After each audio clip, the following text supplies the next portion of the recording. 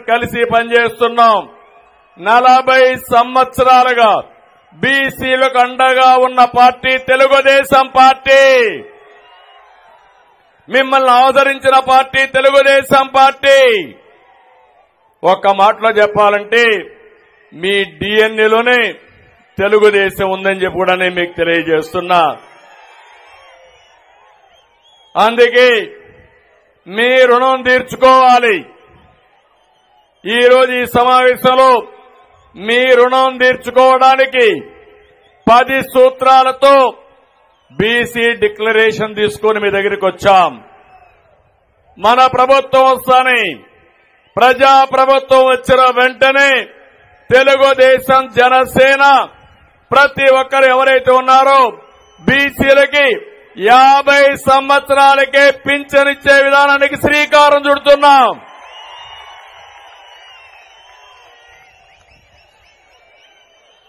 అందులో కూడా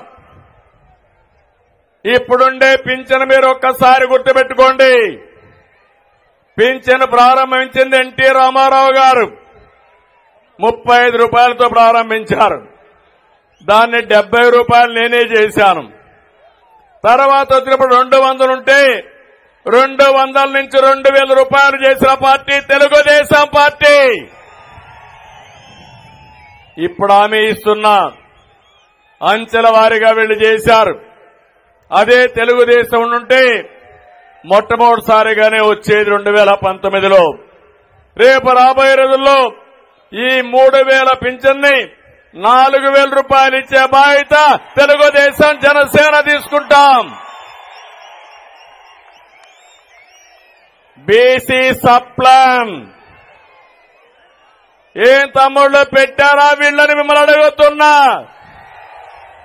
పదహైదు వేల కోట్లు సంవత్సరానికి చెప్పారా లేదా అని అడుగుతున్నా మిమ్మల్ని. పదహైదు రూపాయలు పెట్టారని అడుగుతున్నా మిమ్మల్ని. కానీ ఈ రోజు మేము ఒకటి ఆలోచిస్తున్నాం. సమిట్